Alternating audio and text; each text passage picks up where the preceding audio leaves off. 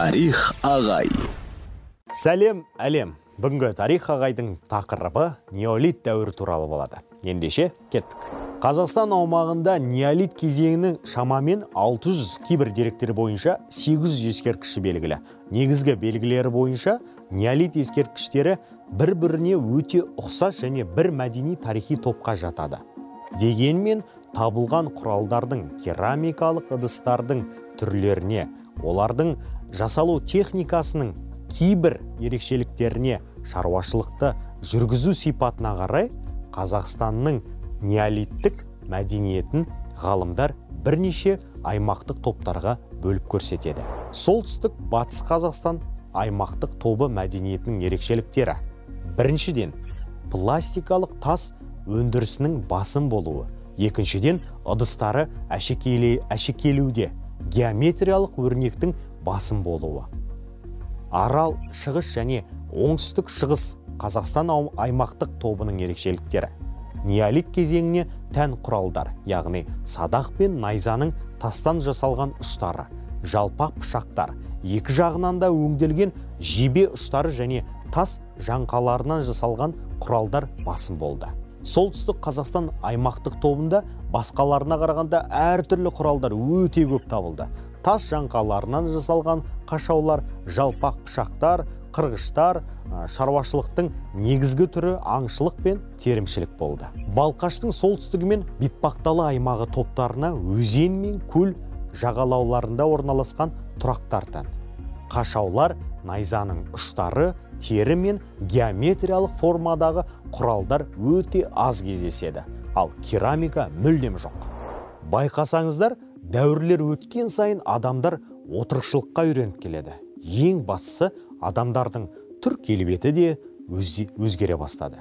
Алғашында адамдар мысалы бұлай бүкірейіп жүретін болса кейіннен неолит дәуірінде адамдар кәдімгідей тік жүре бастады. Орталық қазақстанның солтүстік аймақтары тобында кремнийдан жасалған құралдар мен тұрақтар қазақстанның солтүстік аймақ топтарына ұқсас болды. Қарағанды мен зеленая балка тұрақтарында үй жануарларының сүйектері табылды. Жезқазған өңірінен 150 тұрақ және көне қорымдар мен обалар табылды. Қайтыс болған адамның денесіне тастармен қоршап жерге арқасын беріп басын солтүстік батысқа қаратып жерлеген. Бұл неолит дәуірі адамдарының өзіндік дүниетанымы. О дүниеге деген сенімі болған куәсі. Шығыс қазақстан аймақтық тобындағы қоныстар да құралдарының түрлеріне өте бай. Керамикалық бұйымдар мен қырғыштар ойылған өрнектермен көмкерілген. Арал өңірінен найзаның тас ұштары жалпақ пышақтар 200-де өңделген жебе ұштары табылды.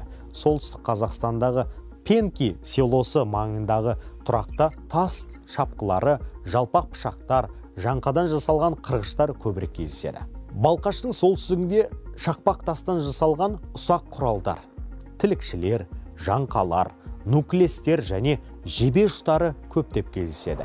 Алғашында ұжымдағы барлық жұмысты аналар атқарды. Олардың істейтін жұмысы жұмыстың көлемі бұрынғыдан да көбейді. Олар отбасы істерімен тамақ дайындаумен қатар киім тоқу жер өңдеумен де айналысты. Бұл ұжымдағы аналардың беделін арттыра бастады. Рулық бөліністе адамдардың үстемдігімен анықталды. Әрбір қауым өз аумағында мекен етті. Рулық қауымның барлық мүшелері өзара тең болып есептелінді. Жер баспана еңбек құралдары бәріне ортақ саналды. Барлығы бірлесіп орманда аң аулады балық аулады ортақ жайылым мал жайды. Қауымның ішкі жұмысын теңдей бөлісті. Әйелдер мен балалар жеміс жидек жинады еркектер ор қазды егістік жерді тазалады жыртқыш аңдарды аулады. Қауымның жеке мүшесіне тиісті мүлікті мысалы найзаны кез келген пайдалана алды. Олар ру ішіндегі тіршілік пен әрекетке қатысты мәселелерді жалпы жиналыста шешті. Жалпы жиналысқа ересек адамдардың бәрі еркектер мен әйелдер түгел қатысты. Әрқайсысы өз пікірін білдіре алды.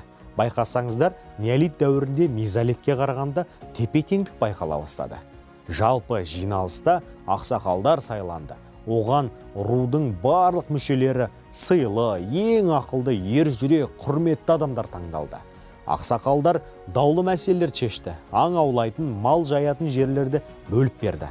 Олар рудың әрбір мүшесінің мүддесін қорғады. Бірнеше ру бірігіп шаруашылық мәселелерін бірлесіп шешті. Және осындай рулық бірлестірулердің бірлестірілуден кейін көсемдер сайлана бастады. Мезолит пен неолит шаруашылықтарының айырмашылықтары мезолитте жеке аңшылық пайда болды малды қолға үйрету мен дәнді дақылдарды егу басталды. Неолитте мал шаруашылығы мен егіншілік қалыптасты.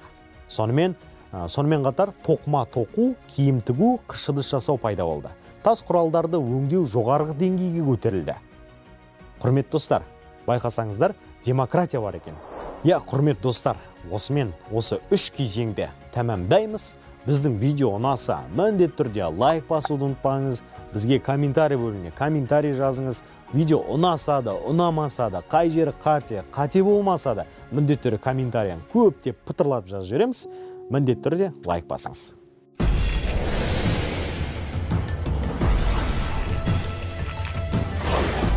Тарих ағай.